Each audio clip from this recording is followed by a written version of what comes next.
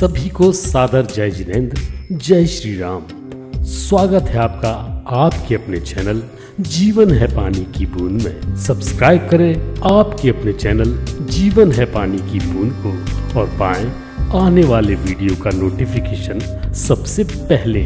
धन्यवाद। जय जिनेन्द्र गुरु जी जय जिनेन्द्र बच्चों। आज की कहानी का शीर्षक है ज्ञान की निष्ठा, दिलाती प्रतिष्ठा। बच्चों, कलिंग देश की बर्बर नगरी में चंद्र कीर्ति नामक के सम्राट थे। उनके एक सुमति चंद्र नामक के प्रमुख राजमंत्री थे। सुमति चंद्र की मृत्यु के उपरांत सम्राट चंद्र कीर्ति ने उनके पुत्र को बुलावा भेजा।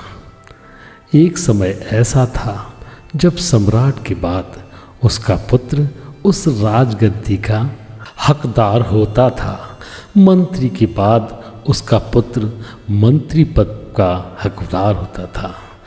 भद्र कुमार के दरबार में जाने के पूर्व ही उसकी माँ ने समझाते हुए कहा, बेटा भद्र राज दरबार में पूरे अदब से जाना, समझदार बनकर जाना और सम्राट जो भी प्रश्न करे, उसका विवेकपूर्वक समाधान देना। परंतु सिखाए पूत कहाँ तक स्वर्ग जाएँगे? भद्र कुमार राज दरबार में पहुँचा। अभी तक उसने सोलह बसंत पार किए थे। उनमें से बारह बसंत को खेल कूद और पिताश्री की गोद में व्यतीत किए थे। चार बसंत काम भी किया। तो पिताजी ने घर के पशुओं की देखरेख का कार्य सौंपा था। दरबार के सभ्य वार्तालाप में भद्र कुमार के वचन तेल में पानी की तरह उतराते हुए दरबारियों की हँसी का पात्र बन रहे थे।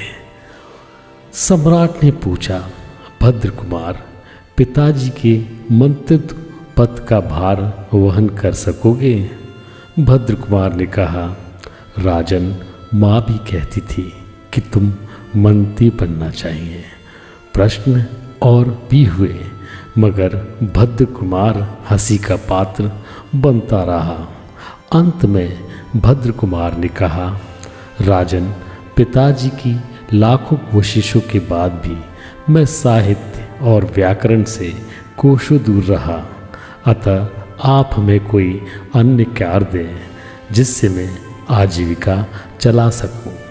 सम्राट ने कहा, राज दरबार में स्थान पाने के लिए अध्ययन आवश्यक है। अतः तुम जा सकते हो। भिखारी हो या बादशाह, अपनी निंदा कोई बर्दाश्त नहीं करता। भद्र कुमार भी निंदा का कूट पीकर दिगंबर मुनि की शरण में पहुँचा।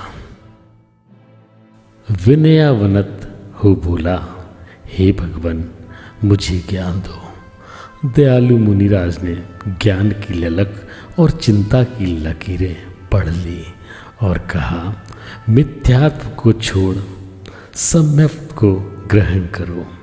जिनेन्द्र और जिनेन्द्र वचनों में विश्वास करो। श्री भक्तांबर जी स्त्रोत के अठारहवें काव्य का शुद्धि मंत्र के साथ जाप करो तो तुम्हारे मनोरथ की सिद्धि होगी। भद्र कुमार ने यथाविधि तीन दिन, तीन रात, अठारहवीं काव्य की शुद्धि मंत्र के साथ आराधना की। परिणाम स्वरूप वजा देवी उपस्थित हुई। बोली, वस्त्र क्या चाहते हो? माँ, ज्ञान चाहता हूँ। ऐसा ही हो। कह वह देवी अंतर्ध्यान हो गई।